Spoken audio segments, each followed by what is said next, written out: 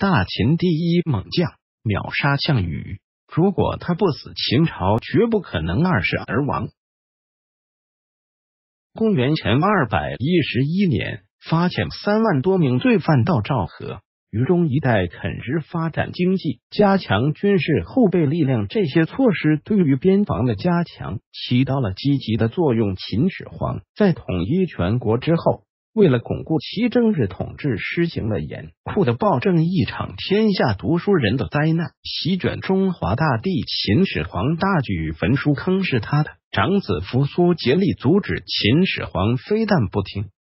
反而把他贬到边关，让他和蒙恬一起守卫边疆。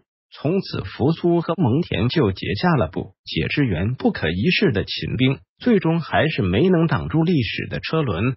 说到秦兵，就不得不提蒙家军。在人们的印象里，带“家”字的军队都很厉害，历史也的确如此。像岳家军。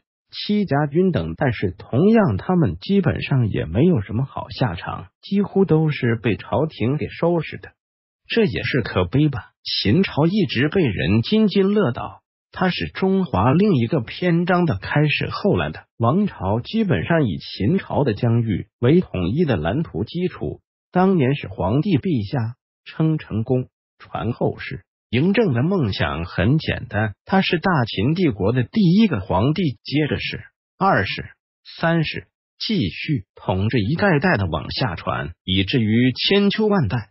可是嬴政的简单梦想成了痴心妄想，他的这个始皇帝只传到第二代，他的帝国就一命呜呼。秦始皇嬴政的最后一次巡游死在了沙丘，随后赵高、胡亥。李斯三个人就发动了宫廷政变，逼死公子扶苏。最后赵高掌权，指鹿为马，胡亥成了傀儡，李斯被赵高阴谋腰斩。其实当年在沙丘政变被逼死的还有一个人，那就是大秦帝国第一梦将军方高级将领蒙恬。